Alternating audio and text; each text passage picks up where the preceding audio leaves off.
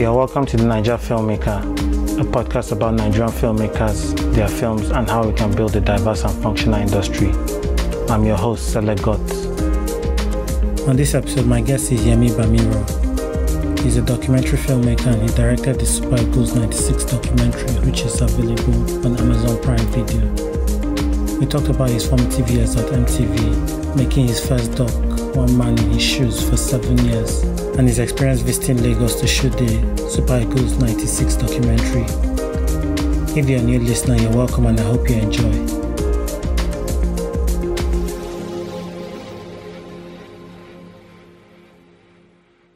Hi Yemi, you're welcome to the Naija Filmmaker. Hey man, how you doing? Thanks for having me.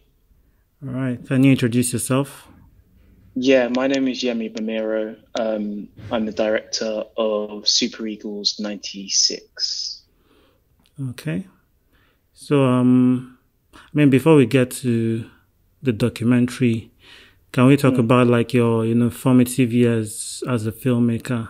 Yeah, of course. Like, how did you um, start? Okay, so I started. Uh, I started at MTV in London.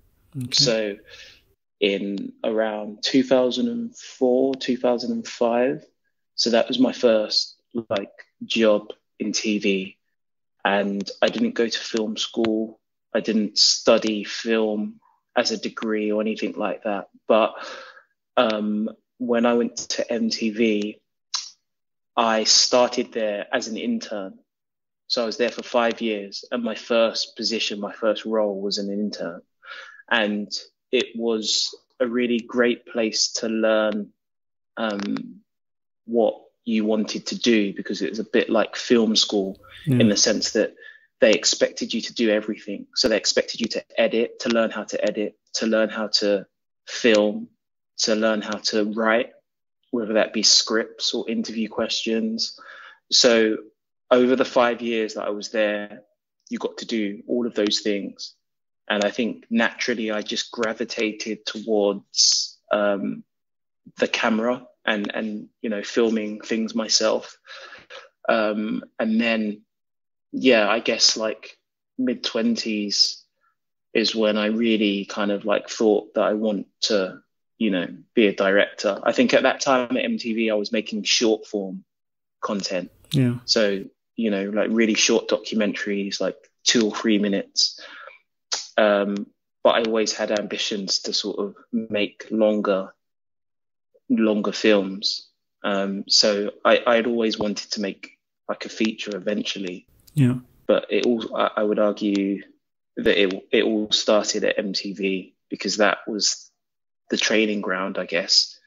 Um, I, you know, when people go to film school, they study all of these different disciplines within film. Yeah. And I feel that, yeah, MTV was basically that for me and lots of other people, you know, that were there feel the same way, you know, that, that, you know, people that I kind of like started off with there are now directors or producers or writers. There's lots of writers, camera operators, DOPs. So yeah, it was an, it was a really amazing place to sort of like learn and and and sort of understand, you know, I guess the discipline of like making stuff. Yeah, you know, you, some film schools are like one year courses or maybe two year courses, but for you, you had five years at MTV. And what was mm. the progression for you, like, you know, before you left? Like, how how did the responsibilities change over the years? Okay, yeah, that's a good question. So I started as an intern. So when you're an in, when I was an intern, I was kind of transcribing. So you know they would go and they would go out and do shoots, and then they bring the footage back, and then they'd want to take that footage into the edit. So I was basically just transcribing everything that had been shot, writing it down. So I did a lot of that, um, and then just going out on shoots and assisting. So, you know, assisting sort of like camera operators or directors and you know that that experience is just so valuable.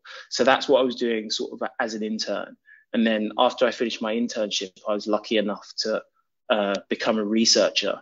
So when you're a researcher you're basically you know, I guess you're kind of like supporting the production in any, any way they need support in in a junior capacity. Mm. So I was like writing questions. I was like basically doing lots of the stuff that I was doing as an intern, but it was kind of formalized in the sense that I had a proper job now. Um, so I was a researcher, and then I became an assistant producer. Yeah, I think I became an assistant producer. So that's more responsibility. That's going out on shoots. That's self shooting. That's like filming stuff and then taking it into the edit and then working with an editor. And and then I think from AP, I just started naturally directing some of the bigger, you know, shows and working with presenters. And I don't I don't necessarily know, you know, if I was kind of like considered a director then, but I think the act of what I was doing was basically directing. Yeah. Um, so yeah, so when I left, I I was basically directing. Um, but it, it was really informal. It, I, I don't necessarily think it came with that label. Do you know what I mean? I, I don't think in my head I thought, oh, I'm a director.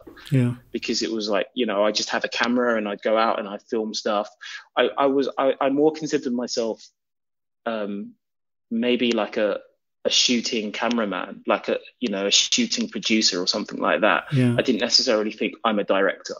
Um, but I think when I went, so after I left MTV, I went freelance and then that's when that you know i really kind of like formalized the director label you know because i was working for other companies and i was working for them in the capacity of a director so i was actually a director then but i think phil um, at mtv it was you know it was definitely this training ground and i think when i left i had all the skills and I felt confident enough that I could go and work for other companies as a director because I'd had five years, you know, I guess learning how to do it, you know? Yeah. Um, so yeah, that was basically the progression. Okay. Um, I mean, with short form content that is like two, three minutes, you know, you have to mm. get to the point and then there's the other end of it that is, um, you know, the feature length documentary space. So, um, you know, when you when you started making feature length documentaries, you know, you know, approaching apart from researching, coming up with questions, knowing who like the subject of what you're trying to explore. Um, mm. Did you kind of work with scripts, or how was that your process of you know making these documentaries?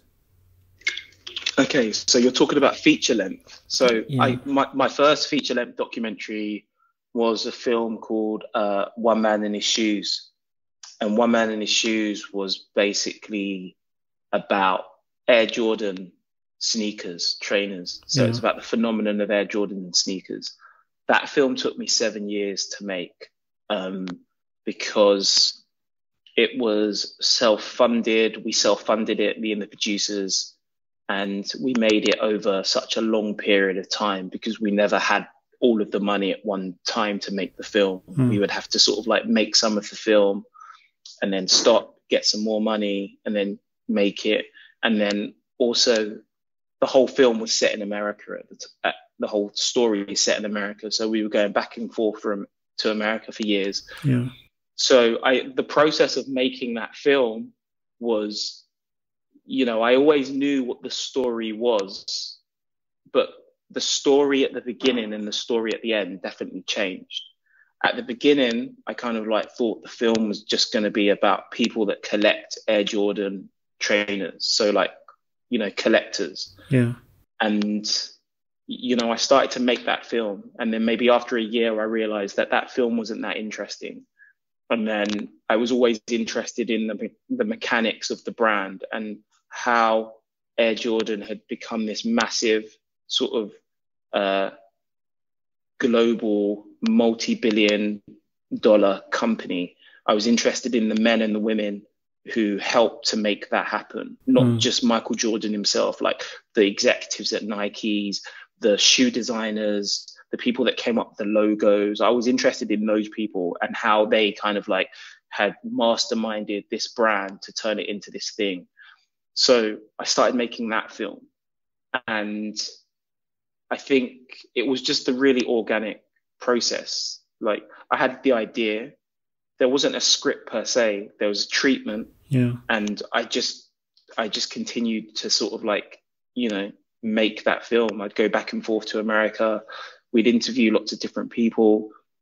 And because we made it over a certain amount of time, over seven years, you know, there were people that, you know, said no in the beginning, but, you know, because we kept knocking at their door, mm. five years along the line, they were like, okay, yeah, like, you know, just, you've been knocking at our door for like five years, so you can, we'll give you an interview. So it was, yeah. you know, so that, that was the process of making that film. So if someone had came along and sort of given me a bag of money and said like make this film in two years it wouldn't have been the film that we ended up making yeah. i think it actually is a better film because of the amount of time that it took to make you know because that that gave us you know it was frustrating those seven years because obviously you know no one wants to take that long to make a film you just want to make your film and then move on to the next one. Yeah. But because it was such an ambitious project, because we never really had the money, because it was all in America, it just turned into this,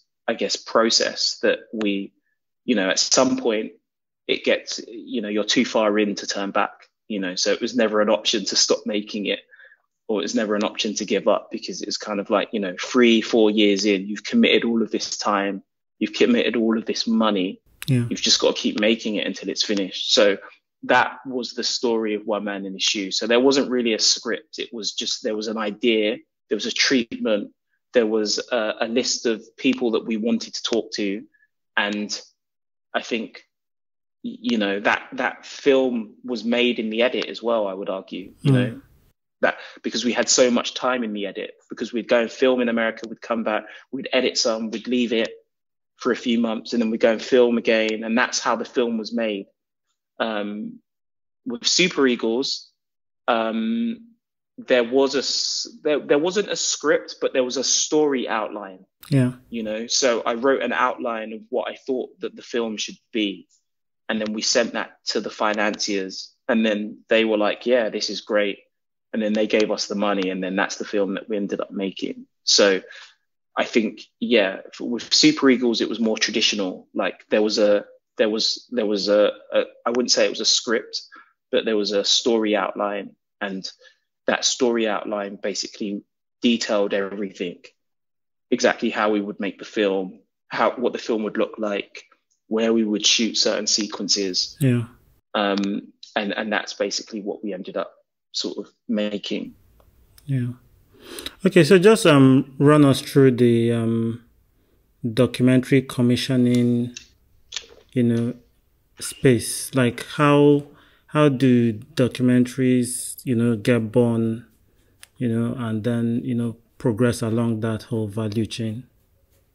Mm, I don't think there's there's not one straight answer. I think my I can only talk on like my experience. Like for instance, like with the Air Jordan film, like mm. nobody wanted to give me the money to make it, which is why it took seven years and which is why we kind of like self funded it because, mm.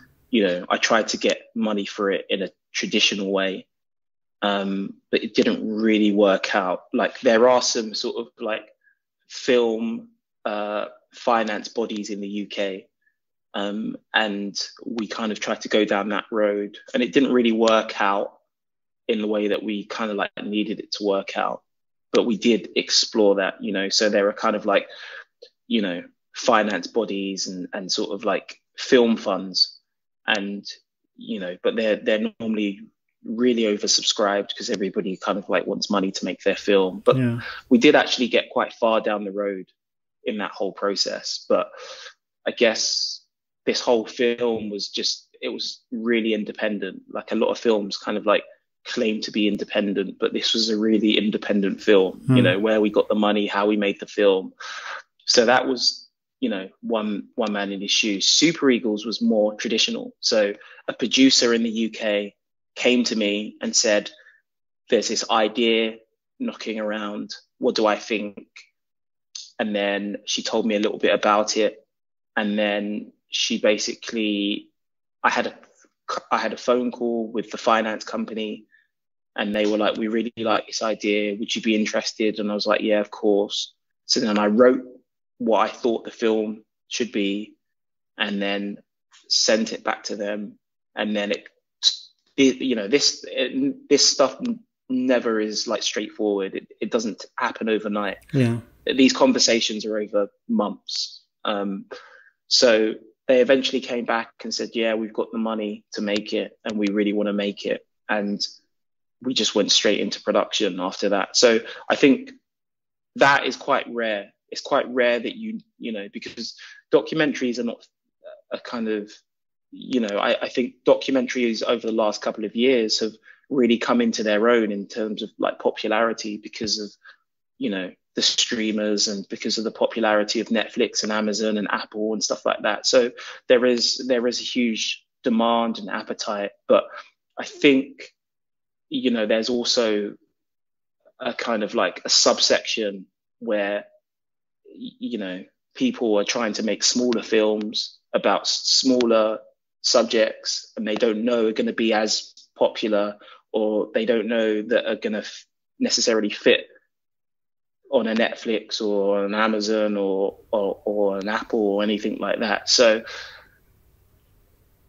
normally when that happens, the money comes from lots of different places, you know. Yeah. So you make a doc, you want to make a documentary, and the money comes from lots of different places. But with Super Eagles, the money all came from one place, and also the company that financed it, you know, they make they make feature films. They're like a studio, so their non-scripted division is really small. Yeah. Um, so yeah, I, I think it was it was kind of like a perfect scenario how it happened. You know, it, it, that's not the norm. It doesn't normally happen like that. But I think we just kind of were fortunate that you know they they believed in the story and they were willing to sort of like back it financially, and and that's how it happened. So to sort of like finish answering your question, um, once we made the film, we had to tr- we had to sell it. Do you mm. know what I hmm. mean? So like the the company gave us all the money to make it, but it wasn't a commission. So it's not like Netflix said, "We really love this film and we're going to give you the money to make it." It's like MRC are the name of the they're the they're the finance company slash studio, mm. and they were like, "We love this story, so here's the money to make it, and we we sell it when the film is made." So once we'd made the film, there's a whole other process of like trying to sell it uh, to different territories, different companies, broadcasters, streamers. So um, yeah, that's pretty much how that film was kind of like made. Like thankfully, Amazon basically bought the film after we made it. So that's that's where it that's basically where it lives now on Amazon Prime. Okay. All right. So, like with the independent approach to documentary filmmaking, and you know, with the example of one man and his shoes, at what mm. point do you know that the documentary, like you've kind of reached the end, you need to wrap things up? Well, I think with okay, so with with one man in his shoes, I think because we made that film over such a long period of time. Yeah. We knew kind of like exactly who we needed in the film to tell the story. Hmm. So once we got those people, we were pretty sure that the film was kind of done. But then also the film, that film got into a, a few film festivals. Yeah. So it got it got into South by Southwest in America. It got into London Film Festival it, yeah, it played at a film, a few, a film, a few film festivals, right? So I think South by was the first film festival that it got in. So there was obviously a deadline that you have to submit your film. Yeah. So at that point, you can't work on your film anymore because otherwise we're going to miss the deadline. So mm.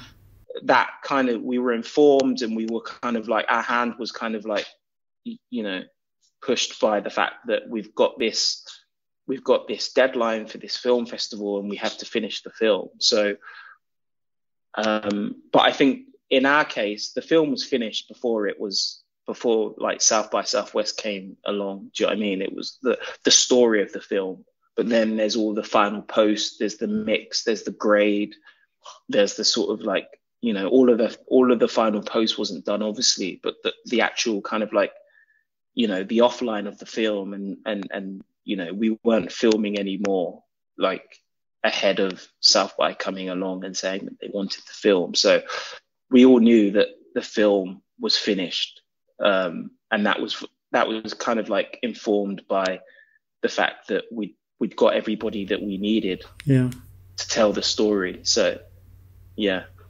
Okay. So at the at the heart of you know storytelling for you, what kind of stories do you enjoy um, telling? Um, I love stories that kind of. Um, I love stories that are kind of that I can connect to in the sense that if I'm a fan of the story, then that is going to be my entry point into the story. Yeah. So with One Man in His Shoes, I was always interested in trainer culture, sneaker culture. I was always, you know, I was a Chicago Bulls fan when I was like 13 or 14 years old. Like yeah. it was stuff that I would read about and watch anyway. So you have a really natural entry point into the subject. And that's how I sort of like choose the films that I want to make. I think you have to kind of be a fan. Yeah.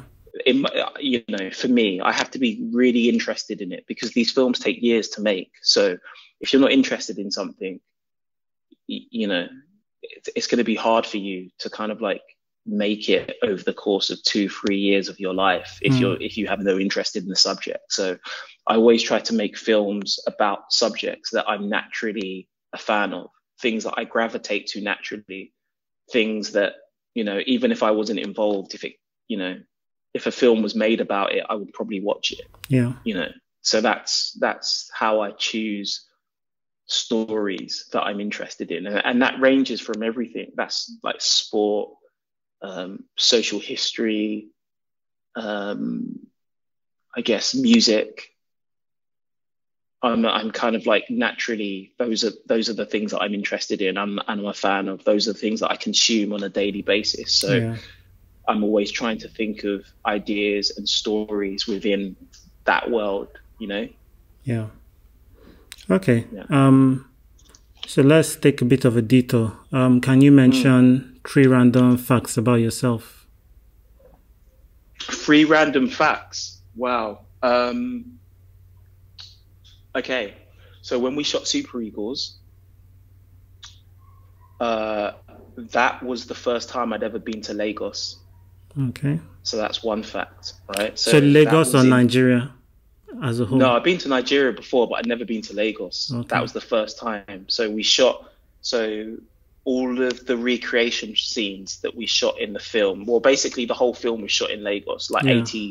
80 percent of the film was shot in Lagos because that's where all of our crew were. That's where we arranged to sort of like film all of the players. Hmm. So yeah, that. So what was that?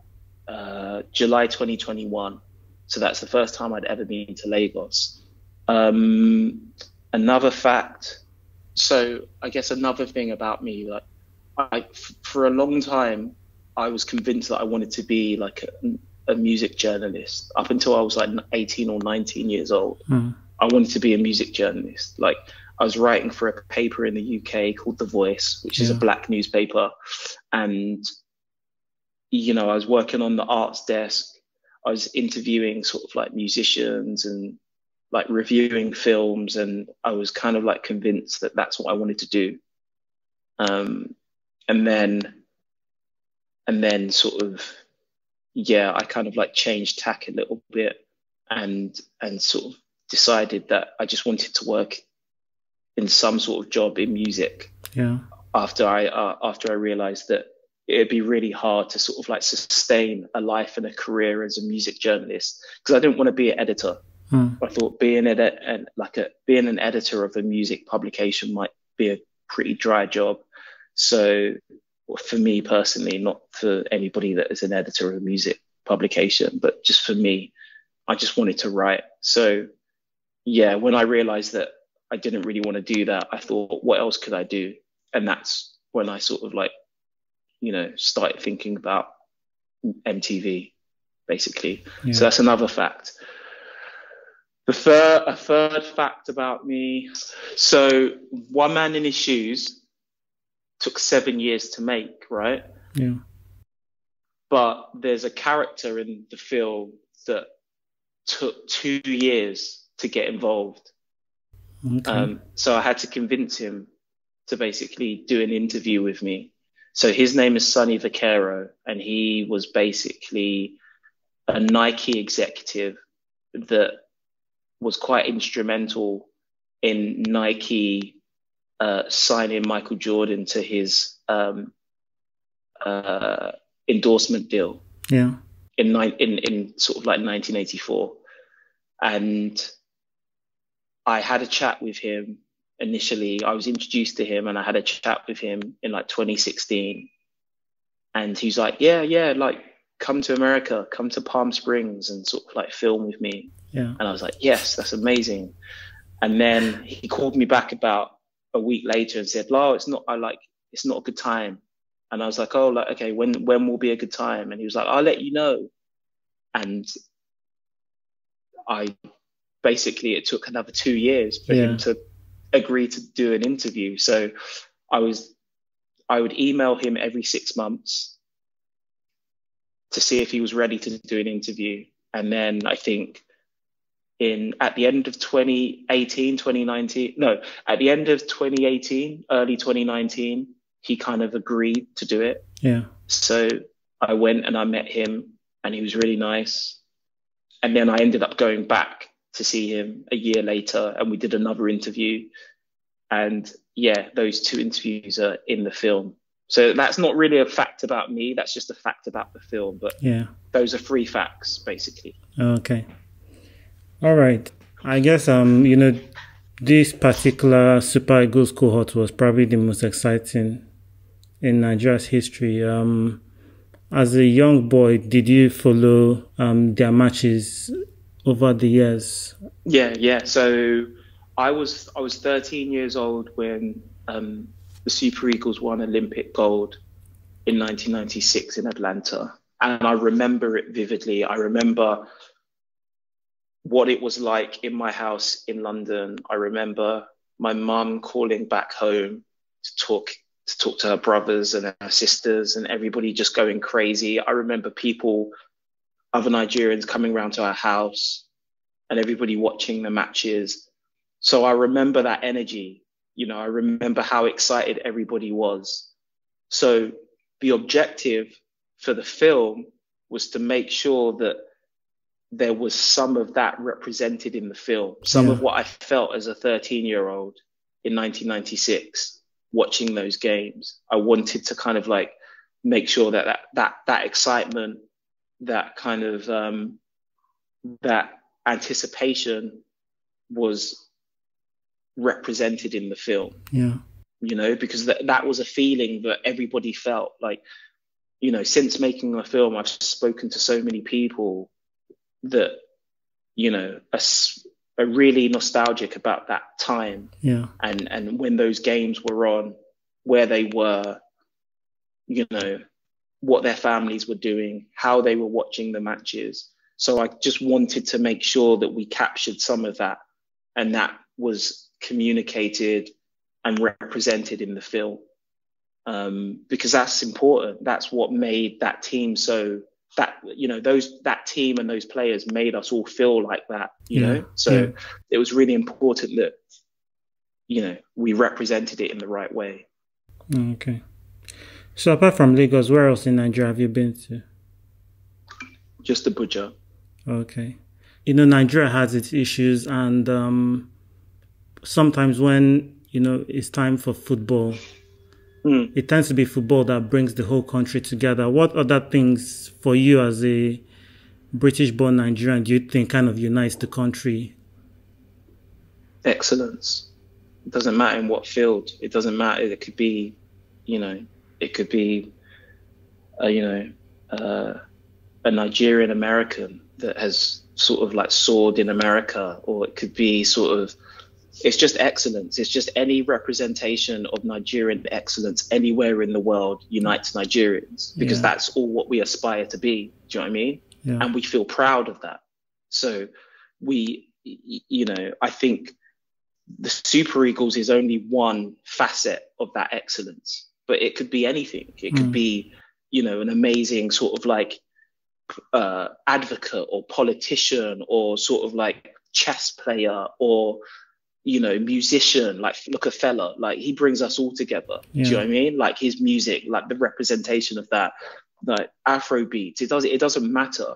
It's just excellence. Like you know I, I think a, uh, a craftsmanship at its highest yeah. just unites Nigerians because we're proud people mm. and we like to see ourselves represented in the right way. But I think excellence excellence is the pinnacle do you know what I mean? That's what we all aspire to as Nigerians, as Africans. Do you know what I mean? So that brings us together. Any representation, any embodiment of excellence. Mm. Okay. Um, so now into into the documentary. Um, mm. Especially the beginning, like I feel the first few minutes of the um, documentary pre- pretty much like set up what we were to you know, expect with the documentary, you know, um, with all the footage you shot in Lagos and the interviews, um, and then, you know, laying all that against the political backdrop. Um, is this something that, you know, just kind of came in the edit? Like how, how did that happen? No, no, it, it didn't come in the edit. We knew, we knew that we wanted to tell the story. So we knew that we couldn't tell the story without exploring the political landscape of Nigeria in the 90s because those two things collide in yeah. the film.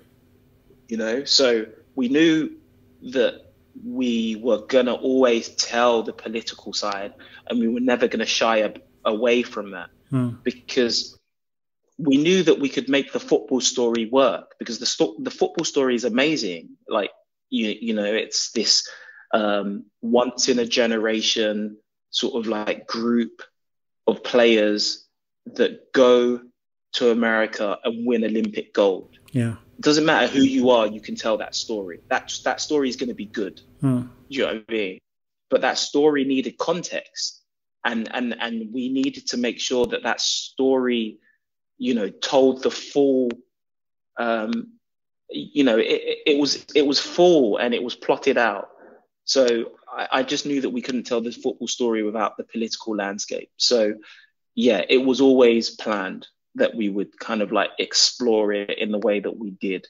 It was, I think, the the challenge in the edit was just to make sure that those two things, the politics and the football, were quite seamless in the way that they um, interconnected with one another. You know, so you didn't want it to feel like two different films, like yeah. the football here and the politics. Mm. We didn't want them to be separate. We need, we wanted them to be together, and we wanted to interweave the social political story into the um, into the football story. Yeah. Um, so that that I, it wasn't a challenge, but we it just took some work, you know, to get it right, to make sure that it, you, you know it really worked.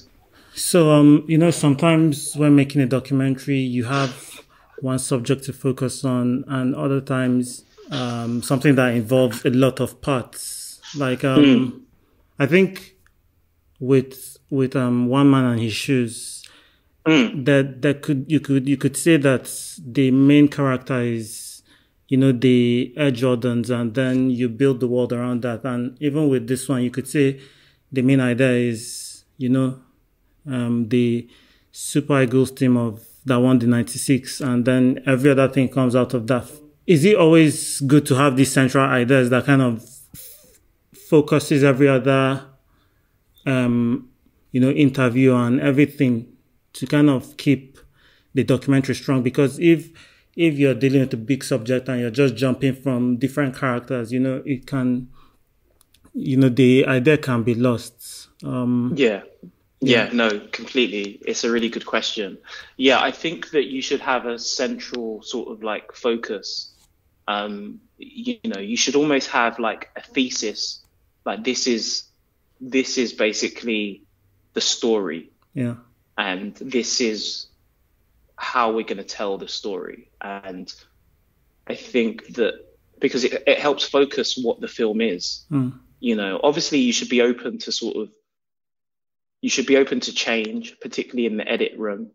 You know, sometimes you, you try things that work on paper and they worked when you went out to film them, but you get into the edit and then they don't work. So Yeah. you've got to kind of react to that a little bit. But I think, yeah, you should definitely have a focus and a, and I guess a thesis of like what this film is, how it's how we're going to tell it, who it's going to involve. Yeah. Like, is there is there sort of like is there a is there a is a time scale in terms of like when this story takes place? Yeah. because that's always helpful if you can sort of like you know when are we telling this story from? Like from a dates perspective when does this story start and when does this story end?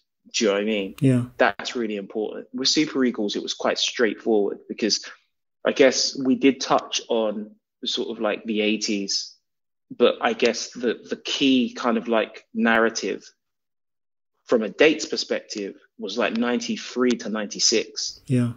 do you know what I mean? And and looking at everything that happened within those three years, um, and and that you know we always knew that we knew that we would have to touch on sort of like 1980 and and sort of like 94, and you know like do a little bit of exposition, Yeah. build the world, like ex, you know really communicate what this team represented, not just in the 90s but prior to the 90s. Um, but yeah, I think at the heart of everything was just the thesis. There was like, you know, this is the story, this is how we're going to tell it. And if there's anything outside of, you know, these dates or this thesis, then we're not necessarily going to explore it in the way that we kind of are going to explore our key kind of like narrative, our, our key thesis, you know? Yeah. So that's that's how we approached it. When we got into the edit, it was pretty much the same. Yeah. You know, we didn't really deviate too far away from what we'd kind of like set out from in the beginning. So yeah, I think you're right. I think it helps to kind of like have just kind of like a train of thought, like quite clear in terms of like what you're exploring. Yeah. because I, I think that just helps that just helps with cohesion you know when it comes to the film. Like it's coherent. We know exactly what we're looking at. We know exactly what we're exploring. We know the dates that we're looking at. Yeah. and we know the characters. So you're not necessarily going to go too far away from you know that key narrative you Yeah. know because if it doesn't add to the story and it doesn't if it doesn't drive the narrative then you know it's not that useful to you so yeah Okay. Um, you know, from your days as a researcher at MTV and, you know, through all the documentaries you've made, um, what are some tools that you use? Is it do you just like do web searches, you know, to kind of come up with ideas and different things to support your documentary? What other things you do? Uh, I, I read loads. I read so much. Um, i think it's i think just reading and just understanding different perspectives because it, when you're reading a book like most of the time it's told through the perspective of the author Yeah. and then that you know that's based on research as well. But i i kind of like drawing from different sources. So i try to read lots. Um and then yeah i i guess that's that's the key. And then i just watch other films. Mm. like not necessarily you know films in the same sort of world. So like i, I think for the for super eagles i remember i watched the um i'd seen it before but i rewatched it a few times the diego maradona film that asif kapadia directed. Yeah. um, because I, I love that film for the way that they cut the football sequences, you know, because Mm. they were they were cut in such a compelling way. You know, it just felt like I guess the equivalent of an action scene in Mm. the, in you know the way that they'd edited those football sequences.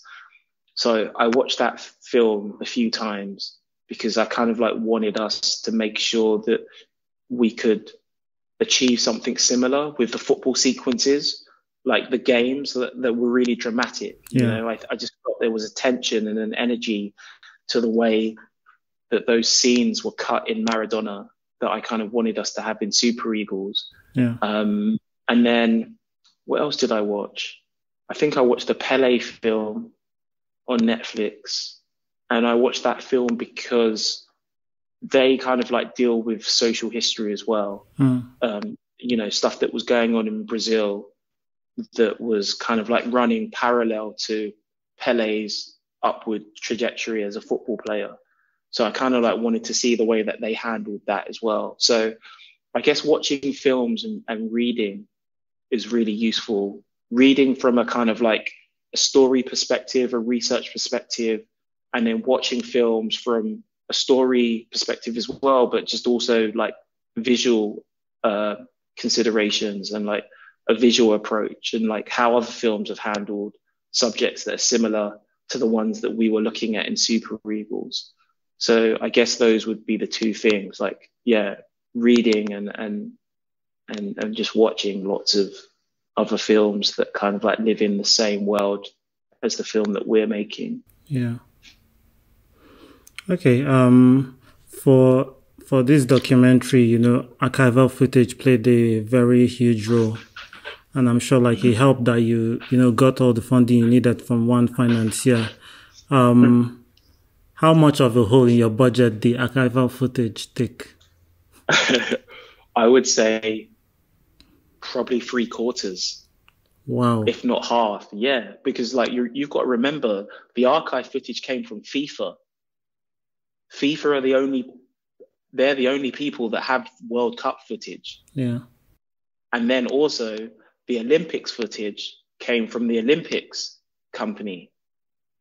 And they're the only people that have that footage, so they can charge what they like. Yeah. And if you watch the film, you can't tell you can't tell the story without the World Cup footage.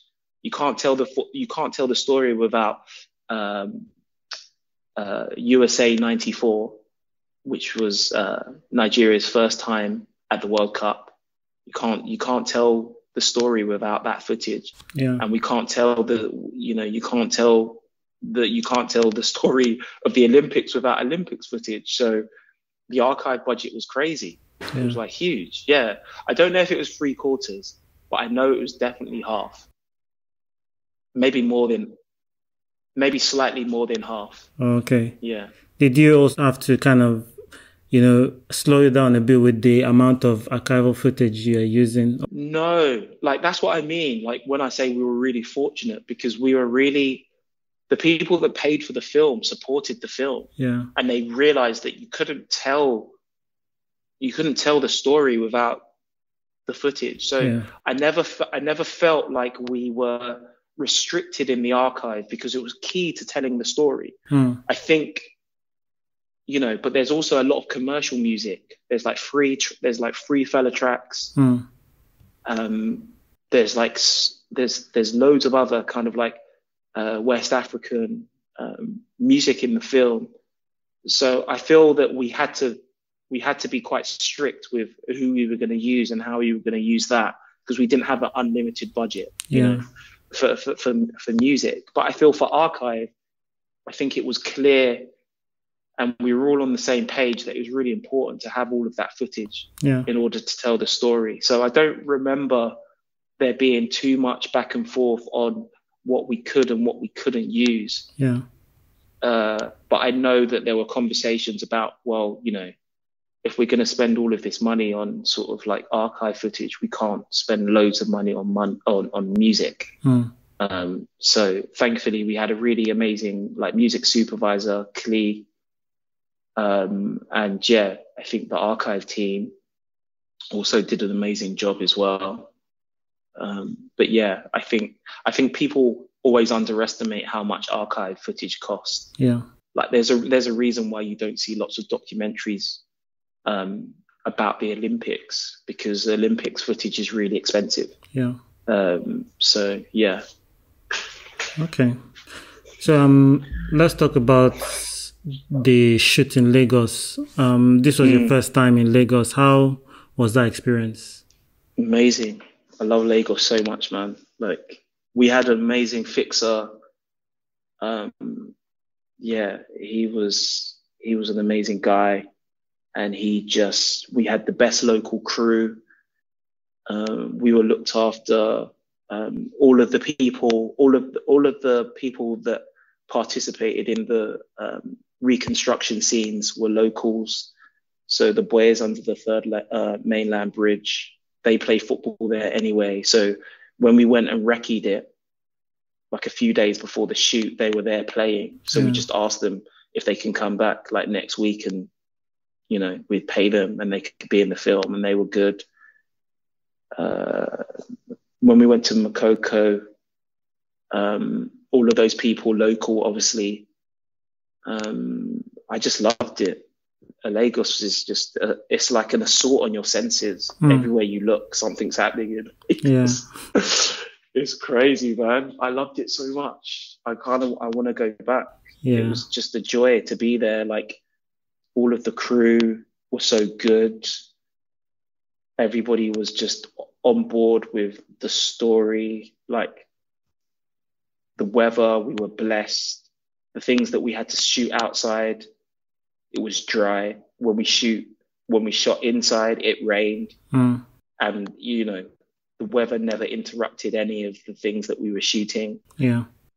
Um, yeah, I loved it. It's it's it's a beautiful, chaotic, crazy city. Yeah. but I love it. I'm proud. I'm proud to sort of be from there. You know. Um, yeah. Mm. Okay. Um, okay. So at this point, another detour.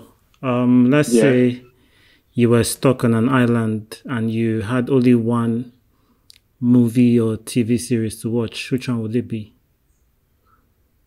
Um, I think if it was one TV series, it'd be The Wire. Okay. What do you love about The Wire?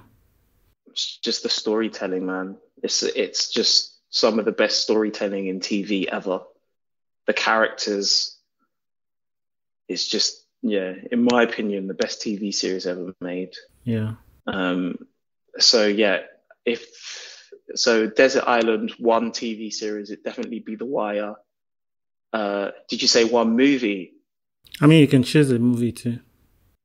Uh, so I think a movie, probably Hoop Dreams. Okay. So Hoop Dreams, documentary by a filmmaker called Steve James um, sort of about these two college kids that are trying to make it to the NBA in Chicago. Mm. Just incredible film. Took like 10 years to make. Um, just an amazing storytelling. It's just kind of like the, it's like the standard for kind of, you know, verite, observe, observational sort of like filmmaking. Mm. You know, it's an incredible film. So yeah, the Wire and Hoop Dreams, I reckon. Okay. And um, are there particularly any, you know, documentary filmmakers that inspire you, that inspire your work? Yeah. Yeah, yeah. Like, so Steve James, who I just mentioned, he's from Chicago. He's made a lot of seminal, just, just incredible seminal work, like Hoop Dreams, Interrupters, uh, head games. Just like a, he's just a really amazing filmmaker. Hmm. Um, there's another filmmaker called Alex Gibney, who I really rate. He's he's prolific. He never stops making films. Hmm. He's always making films. He makes them at such a rapid sort of frequency. I don't really know how he does it. Yeah. Um, I like Kahlil Joseph as well. Kahlil Joseph's more like experimental. Yeah. Like vis- visually experimental, but he's just incredible. Like the way that he shoots. Um, I think Black Skin is just incredible. Uh, who else? Like obviously Spike as well. Spike Lee. Mm. I think people don't talk about Spike Lee's documentary work enough. I think that it's because he's such an amazing like narrative like filmmaker, but yeah. his documentary work is just incredible. Like I remember the first time I saw like when the levees broke about New Orleans and Hurricane Katrina. Mm. I was just completely blown away um, by that. And some of his other doc work is just, yeah. Um, so definitely Spike. Um, Ava DuVernay, I think her her documentary work, obviously 13th. 13th is just incredible. Everyone mm. knows that. Um, just an amazing storytelling. So yeah, I, I'd say, yeah, those filmmakers definitely inspire me. Oh, okay. The presence of streamers had, has kind of made has kind of reduced the um, barriers to films being seen globally. Um, have you mm. been following Nigerian movies that have been released on streamers? Um, honestly, no, not that. I no, not not that much. I think that having sort of you know, I think when we sold or when we were talking about selling Super Eagles, I think, you know, I know that there's a big focus in Africa on local sort of programming yeah. in that respective sort of uh, country. So when we were having con- uh, conversations about where the film would go, obviously like Nigeria isn't like a no brainer, but I think through those conversations, I kind of became aware of you know, obviously I know how big, you know, film and TV is in, in Nigeria, but mm. I think it crossing over and it sort of like penetrating on a global scale, I, I feel like we're still we're still on that upward trajectory to get to that place. But yeah, I think when you have you know 250 million Nigerians, it's like you don't, you don't need to sort of go global. You already are in your own country. Do you know what I mean? So I think that um, yeah, and I think that was testament to sort of like how easy the shoot was when we were in Lagos. Mm. It was it was like really straightforward. Like everybody was on it. All of the kind of like all of the crew were just amazing because they're so used to like making commercials or making music videos or working on TV shows. And I so I you know because I think there's a perception you, you know like you go to sort of places in Africa and like you know the crew are not going to be as good as like places in Europe or whatever or in America. Like, mm. yeah, that's like such rubbish, man. Like because the crew that we had were just insane. They were so good, and and and I I knew they were going to be good as well. You know, so yeah, I guess to answer your question, yeah, I, I know that there are inroads being made on a global scale in terms of like Nigerian programming and Nigerian shows. Um, and yeah, I, I'm kind of, I think it's good. It's good for all of us, you know, that these things are getting attention and yeah. these shows are successful, um, because that just means that more of us will get a chance to sort of, you know, make that stuff mm. or, or sort of have conversations about, you, you know, making similar content, you know, because I think we already have a body of work. We, we're already really good at what we do. So. Yeah. Okay. So, um, are you currently working on anything? Yeah, I'm working on a series for Disney Plus. Um, it's about music. It's a, it's a four part music series. Um, I, am only directing one episode. It's about Camden. Mm. So, Camden obviously is a small sort of like borough, I guess, here in North, in London. Yeah. But it's over the years, it's been renowned for um, its music lots of different music has come out of this small little place in North London.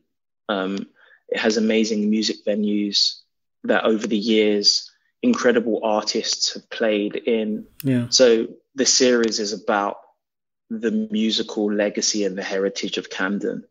Um, and yeah, I've been on this job since November. It's really fun. I used to work in Camden. So when I said that I used to work at MTV, mm. MTV was in Camden. Um, so I kind of have a connection to Camden. Um, yeah, and I don't I don't think it's going to be out this year. I think it's going to be out early next year. Mm. Um, but yeah, it's a really it's been a really fun series to work on so far. Okay. Yeah. And um, you know, where can people go to keep up with um, news about your latest releases?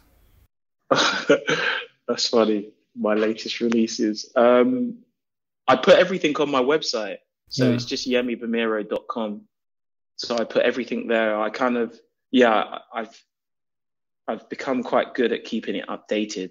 Um, so yeah, I post all of my work, um, on there or just on my Instagram, which is just my name, Yemi Bamiro at Yemi Bamiro. So yeah, Okay. All right. Thanks, Yemi, for coming on the Naija Filmmaker. Thank you for having me. Really enjoyed my time. Same here. We have come to the end of this episode. Remember to rate and review the podcast. You can also follow me on Instagram, Twitter, and Facebook at Senegal Film and the podcast at the Naija Film Pod to share your feedback. You can now support the podcast by visiting the website to donate. See you on the next episode. Have a good one.